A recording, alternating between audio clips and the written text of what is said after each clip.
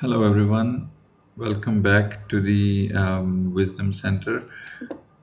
In the previous uh, video, I showed you how to mark attendance on Google Classroom and now in, in the current video we're going to learn if we want to download um, the, that attendance of all the lectures uh, as a single page or a single sheet, what we can do for that.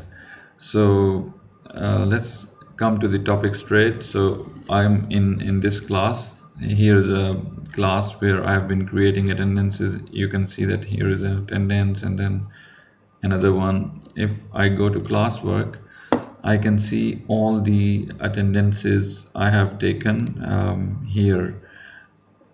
So from attendance number 1 to attendance number 12 um, there is a little thing uh, that uh, you would be wondering in that video I didn't tell about uh, how to put all these attendances under one topic. Um, for that you can just create a topic for example uh, I, will just quickly show you to edit one attendance if we go to this um, attendance number 12 and edit it we can see all the other options and here is the topic. So if you put all your attendances into a topic you can create a new topic and, and, as I have created and named it as attendances.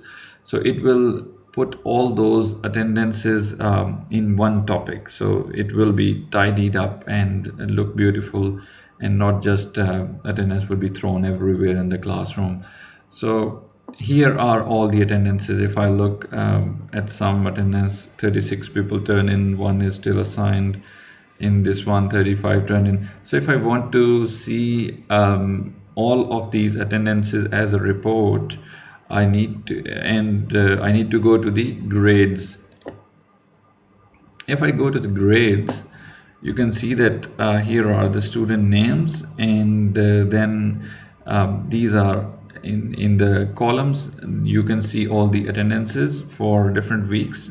So if I just hover over to this attendance on May 13 it says attendance lecture 12 this is, was lecture 11 10 and and so on. You can scroll to the right and you can see that it has a record of all the attendances um, in in this uh, grades section. So in the rows you can see all the students while in the columns you can see all the attendances. So uh, I have seen uh, an, another video on YouTube where uh, someone has shown how to um, calculate how to print this sheet. But um, there was a question from someone that uh, here points are shown. So that points are just due to I'll come back to classwork. If I edit this attendance I told you here that you have to put attendance as ungraded. So if you haven't done this ungraded you will see that uh, it is it has something over 100 marks. So I don't think attendance has marks because in, in attendance either you are present or you're not there's no option like you get 50 marks for the attendance either you get 100 or you get 0 so it, the best is to put attendance as ungraded thing. So I have put all the attendances as ungraded and if you haven't you can still edit the attendance and do it as ungraded if you want. So in the grades um, it's the printing of this sheet is very simple. It uh, if you're using Google Chrome it straight gives you the option of saving as PDF I'm using Firefox so I'll give it the print command. The shortcut key for it is control P. If I press control P I see the print options here.